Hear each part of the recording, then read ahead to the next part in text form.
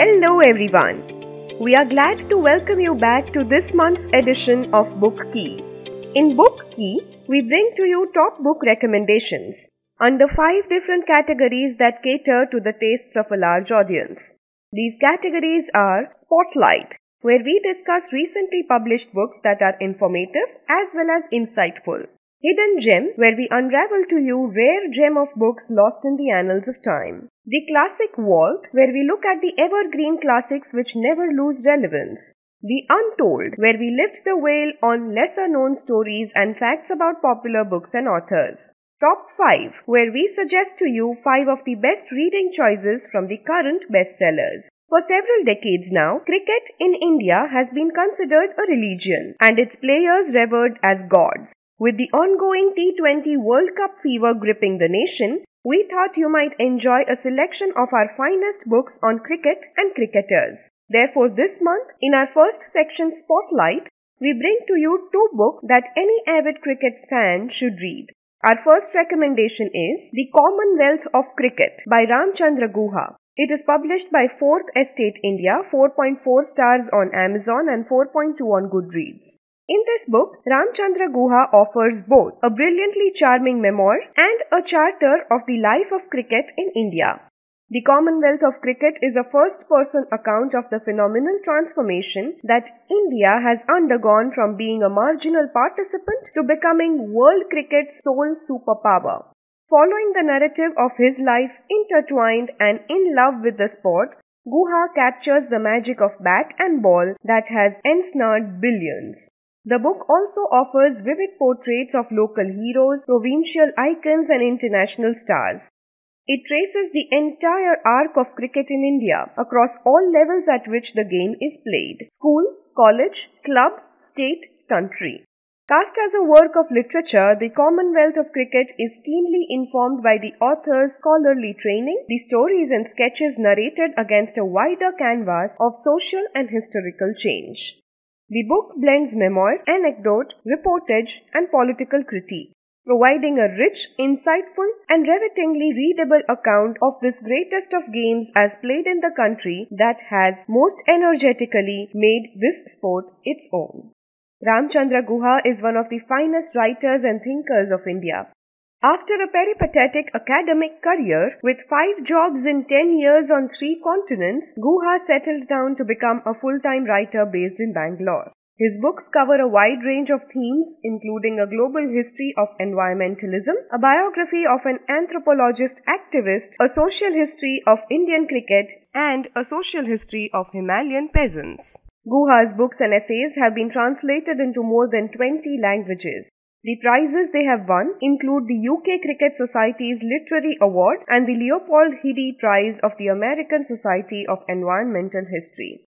Cost of the Kindle edition is rupees 280. Our other recommendation under this section is Believe What Life and Cricket Taught Me by Suresh Raina and Bharat Sundaresan. Published by Penguin Ebury Press, 4.6 stars on Amazon and 4 stars on Goodreads, it is number 2 in cricket books. A journey from a small town of Muradnagar in UP to the heights of winning the World Cup for India, Believe is an incredible story of one of India's finest limited overs players, Chinnathala Suresh Raina. Told in his own swashbuckling style and captured beautifully in words by Bharat Sundaresan. In this book, Suresh Raina takes us through the challenges he faced as a young cricketer, being bullied in school and at cricket camps, though always overcoming every adversity life threw at him. It is the story of the lessons he learnt and the friendships he built. The title word believe is a slogan that is burnt into Raina's consciousness, both through his own efforts and also from the constant reiteration he got from Sachin Tendulkar. The book isn't a chronological retelling of Raina's cricket career, but its chapters oscillate between his sporting and personal life and offer glimpses of Indian cricket. Its highs like the 2011 World Cup triumph and the warts. Peppered with invaluable insights about the game and about life, this book will make you believe in the power of hard work, love, luck, hope, and camaraderie. It is a journey through the highs and lows in the cricketing career of a man who saw his world fall apart and yet became one of the most influential white ball cricketers India has ever seen. Suresh Raina is one of India's most successful international cricketers. An aggressive left-handed middle-order batsman, a useful off-spin bowler, and one of the best fielders in world cricket, Raina was part of the World Cup winning team in 2011. He is a youth icon and is among the most followed Indian sportspersons on social media. Bharat Sundaresan is a world-renowned award-winning cricket writer. The Australian correspondent and senior writer for CricBuzz, having previously spent over a decade covering cricket around the globe for Indian Express. He is also the best-selling author of The Dhoni Touch. Cost of the Kindle edition is rupees 161. In our second section, The Hidden Gem, this month we have an enthralling book, Imperial Twilight The Opium War and the End of China's Last Golden Age by Stephen R. Platt. Published by Atlantic Books, 4.6 stars on Amazon and 4.3 on Goodreads. As China reclaims its position as a world power, Imperial Twilight looks back to tell the story of the country's last age of ascendance and how it came to an end in the 19th century Opium War. As one of the most potent turning points in the country's modern history, the Opium War has since come to stand for everything that today's China seeks to put behind it.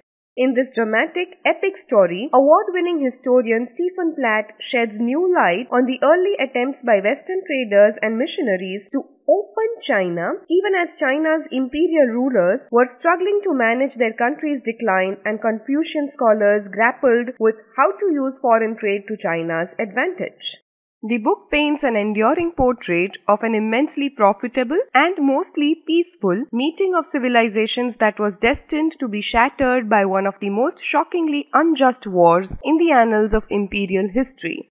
Brimming with a fascinating cast of British, Chinese, and American characters, this riveting narrative of relations between China and the West has important implications for today's uncertain and ever changing political climate. The excerpt below captures the essence of the book. No event casts a longer shadow over China's modern history than the Opium War. Sparked by an explosive series of events that took place in the Canton factory compound in 1839, the war would end in 1842 with China's humiliating defeat and a treaty all but dictated by the British aggressors, setting a disastrous pattern for the century to come. Textbooks in China on modern history, as a rule, take the Opium War as their starting point. The moment when China left its traditional past behind and was drafted forcibly into the world of European imperialism. The war occupies that place not because it was so destructive. In fact, it was relatively small and contained. It caused none of the large-scale social dislocation that China's major internal wars of the 19th century, like the Taiping Rebellion, did. It did not topple the ruling dynasty or even remotely threaten to do so. There weren't even that many battles fought, but the symbolic power of the Opium War is almost limitless. It has long stood as the point when China's weakness was laid bare before the world. The opening of a century of humiliation in which Western and later Japanese predators would make war on China to bully it into granting territorial concessions and trading rights. It marked a sea change in relations with the West the end of one era when foreigners came to China as supplicants, and the dawn of another when they could come as conquerors. And it carries especially strong power because China unquestionably had the moral high ground. As remembered since and as charged by critics at the time, Great Britain unleashed its navy on a nearly defenseless China in order to advance the interests of its national drug dealers, who for years had been smuggling opium to China's coast against the laws of the country. The shocking grounds of the war have provided the very foundation of modern Chinese nationalism, from the overthrow of the Qing dynasty in 1912 and the rise first of the Republic and then the People's Republic of China, the Opium War has stood for the essence of everything modern China has tried to leave behind weakness, victimhood, shame. Stephen R. Platt is a professor of Chinese history at the University of Massachusetts, Amherst. His last book, Autumn in the Heavenly Kingdom China, the West, and the Epic Story of the Taiping Civil War, was a Washington Post notable book, a New York Times Book Review Editor's Choice, and won the Cundill History Prize. Cost of the Kindle edition is rupees 673. Moving on to our next section, the Classic Vault. This month we bring to you William Dalrymple's most ambitious and riveting book to date, The Anarchy, the East India Company, Corporate Violence and the Pillage of an Empire, which tells the story of the East India Company as it has never been told before, while also unfolding a timely cautionary tale of the first global corporate power. Published by Bloomsbury Publishing plc, 4.6 stars on Amazon, 4.2 on Goodreads, and number 1 economic history. The Anarchy is a graphic retelling of the East India Company's relentless rise from provincial trading company to the preeminent military and political power in all of India. In August 1765, the East India Company defeated the young Mughal emperor and set up in his place a government run by English traders who collected taxes through means of a private army. A large part of this book deals with the territorial conquests by the East India Company starting from the Battle of Plassey in 1757, which resulted in the conquest of Bengal, the richest province of Mughal India. By the end of 1803, the company had gained control over the entire subcontinent. As the Guardian states, Dalrymple's first achievement in the anarchy is to render this history an energetic page turner that marches from the counting house onto the battlefield, exploding patriotic myths along the way.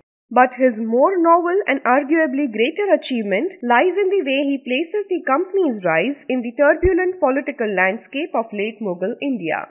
It was contemporary Indian chroniclers who called this period the anarchy due to the waves of invasion and civil war that shook Mughal power and allowed a host of regional actors, of which the company was merely one, to gain ascendancy. In this book, Dalrymple brings the insights of years of living in Delhi and immersing himself in Indian art, archives, and historical sites. He draws on reams of scarcely used documents in Persian, Urdu, and other languages to animate characters such as the brilliant Mughal general Najaf Khan, the vengeful Rohilla prince Ghulam Qadir, and the canny Maratha statesman Mahadji Scindia. He has a particular talent for using Indian paintings as historical sources, a skill complemented by the volume's sumptuous illustrations. As Dalrymple states, this story needs to be told because imperialism persists, yet it is not obviously apparent how a nation state can adequately protect itself and its citizens from corporate excess. William Dalrymple is one of Britain's great historians and the best-selling author of Wolfson Prize-winning White Mughals, the Last Mughal, which won the Duff Cooper Prize and the Hemingway and Kapuscinski Prize winning Return of a King. A frequent broadcaster, he has written and presented three television series, one of which won the Grierson Award for Best Documentary Series at BAFTA. He has also won the Thomas Cook Travel Book Award, the Sunday Times Young British Writer of the Year Award, the Foreign Correspondent of the Year at the FPA Media Awards, and has been awarded five honorary doctorates. He is a Fellow of the Royal Society of Literature, the Royal Asiatic Society and the Royal Society of Edinburgh and has held visiting fellowships at Princeton and Brown. He writes regularly for the New York Review of Books, the New Yorker and the Guardian. In 2018, he was presented with the prestigious President's Medal by the British Academy for his outstanding literary achievement and for co-founding the Jaipur Literature Festival. Cost of the Kindle edition is rupees 299. The other book under this category we recommend this month a beautifully written book to live by. The Difficulty of Being Good on the Subtle Art of Dharma by Gurcharan Das. It is published by Penguin India with 4.5 stars on Amazon and 4.1 out of 5 stars on Goodreads. Gurcharan Das turns to the Mahabharata in order to answer the question, why be good? And discovers that the epic's world of moral haziness and uncertainty is closer to our experience as ordinary human beings than the narrow and rigid positions that define most debate in this fundamentalist age of moral certainty. The book dwells on the goal of dharma, moral well-being. It addresses the central problem of how to live our lives in an examined way. Holding a mirror up to us and forcing us to confront the many ways in which we deceive ourselves and others. What emerges is a doctrine of Dharma that we can apply to our business decisions, political strategies, and interpersonal relationships, in effect, to life itself.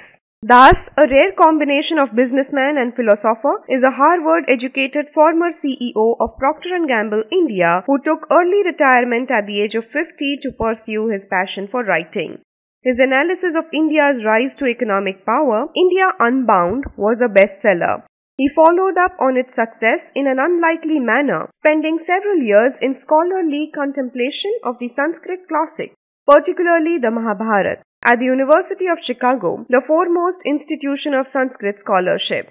His other literary works include a novel, A Fine Family, a book of essays, The Elephant Paradigm, an anthology, three English plays. The cost of this Kindle edition is rupees 199. In our next section titled The Untold, this month we bring to you the debut novel and crime thriller A Time to Kill by the master of legal thrillers John Grisham.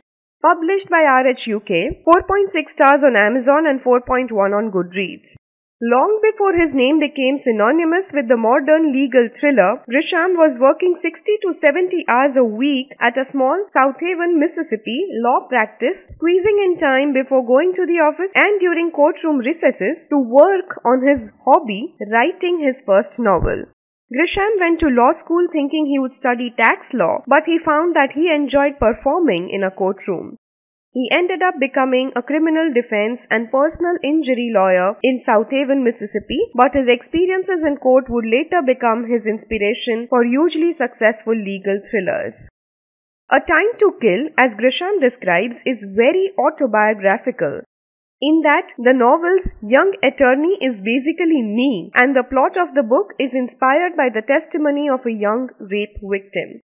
The book is about an African American father who seeks vengeance against the two white men who attacked his daughter. The story happens in the anecdotal town of Clanton, in the similarly anecdotal county of Ford, Mississippi during the 1980s, a time frame during which racial pressure was intensely pervasive in America. This setting is likewise highlighted in other John Grisham books. A short reference to the occasions portrayed in the book is additionally contained in Grisham's 1994 novel, The Chamber. Growing up in the deep American South of the 1950s and 60s, Grisham was raised to be racist and only began to recognize the error of these values when he left home for college. His experiences with racism growing up played a role in him depicting it as a significant theme in his very first novel. Though the book is now highly acclaimed and considered to be a blockbuster, the manuscript for A Time to Kill was rejected 28 times before it got picked up by a small publisher called Wynwood Press. Sales for the book were so bad that Grisham at one point bought out a thousand copies and tried to sell them himself. The book, however, later got adapted into a movie starring Sandra Bullock, Matthew McConaughey, and Samuel L. Jackson. John Grisham is the author of numerous legal thrillers, including most recently The Judge's List, one work of non-fiction, a collection of stories, and a series for young readers. The recipient of the Harper Lee Prize for Legal Fiction, he is also the chairman of the board of directors of the Mississippi Innocence Project at the University of Mississippi School of Law. The cost of the Kindle edition is rupees 238. Moving ahead to our last and final section, Top 5, we bring to you our picks from the crossword and Amazon bestsellers across different categories. In non-fiction category, we have Homo Deus, A Brief History of Tomorrow by Yuval Noah Harari, 4.6 stars on Amazon and 4.2 on Goodreads, number 2 in biology, number 4 in anthropology books. Homo Deus, A Brief History of Tomorrow examines what might happen to the world when old myths are coupled with new godlike technologies such as artificial intelligence and genetic engineering. Yuval Noah Harari envisions a near future in which we face a new set of challenges. The book explores the projects, dreams, and nightmares that will shape the 21st century and beyond, from overcoming death to creating artificial life. It asks the fundamental questions like how can we protect this fragile world from our own destructive power and what does our future hold? Published by Vintage, cost of the Kindle edition is rupees 159. The second book is My Life in Full Work, Family and Our Future by Indra K. Nooyi. 4.3 stars on Amazon, 4.5 on Goodreads, number 1 bestseller in biographies and autobiographies. In this book, Nooyi takes us through the events that shaped her from her childhood and early education in 1960s India to the Yale School of Management to her rise as a corporate consultant and strategist who soon ascended into the most senior executive ranks. The book offers an inside look at PepsiCo and Nooyi's thinking as she steered the iconic American company towards healthier products and reinvented its environmental profile, despite resistance at every turn. Generous, authoritative, and grounded in lived experience, My Life in Full is a story of an extraordinary leader's life, a moving tribute to the relationships that created it, and a blueprint for 21st century prosperity. Published by Hachette India, cost of the Kindle edition is rupees 289. Next on the list in the fiction category, we recommend A Long Petal of the Sea by Isabel Allende. 4.4 stars on Amazon and 4.1 on Goodreads. From the author of The House of the Spirits, this epic novel spanning decades and crossing continents follows two young people as they flee the aftermath of the Spanish Civil War in search of a place to call home. Victor Dalmau is a young doctor when he is caught up in the Spanish Civil War, a tragedy that leaves his life and the fate of his country forever changed. Together with his sister-in-law, the pianist Rosa Bruguera, he is forced out of his beloved Barcelona and into exile. A masterful work of historical fiction about hope, exile and belonging, A Long Petal of the Sea is Isabel Allende at the height of her powers. Published by Bloomsbury Publishing, cost of the Kindle edition is rupees 69. The Castaways by Lucy Clarke, 4.4 stars on Amazon, 4.1 on Goodreads, a Waterstones thriller of the month selection and the Sunday Times bestseller. Brimming with spine-chilling suspense and high drama, The Castaways places a wrecked plane and handful of survivors on a faraway island that is about to bring closely guarded secrets to the surface. A novel packed with raw emotion and heartbreaking in places as love intermingles with despair, loss, fear, and hope. Published by HarperCollins, cost of the Kindle edition is rupees 246. The last recommendation in this category we have A Gentleman in Moscow by Amor Towles, 4.5 stars on Amazon and 4.3 on Goodreads. A Gentleman in Moscow immerses us in another elegantly drawn era with the story of Count Alexander Rostov. When in 1922 he is deemed an unrepentant aristocrat by a Bolshevik tribunal, the Count is sentenced to house arrest in the Metropole, a grand hotel across the street from the Kremlin.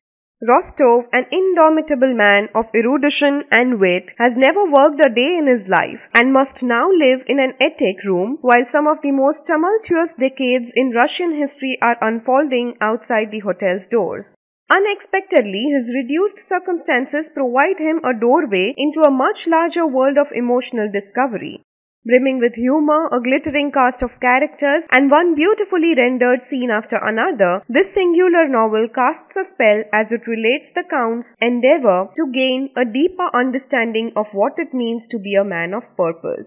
Published by Windmill Books, cost of the Kindle edition is rupees 241. With this, we have come to a close for this month's edition of the Book Key.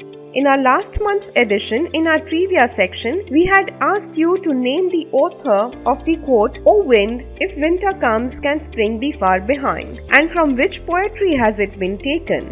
The correct answer is Ode to the West Wind by Percy Bysshe Shelley. The question for this month's trivia section is Who wrote this line? Where ignorance is bliss, it is folly to be wise. Let us know your answers in the comment section below and we will reveal the answer in our next month's edition. If you found this video informative, give us a big thumbs up and share it with your friends. Also subscribe to Endeavor Careers for the upcoming videos. We will be delighted to know if you found our book recommendations informative and interesting. See you next month with more such specially curated recommendations for you. Until then, dream, endeavor, achieve and happy reading.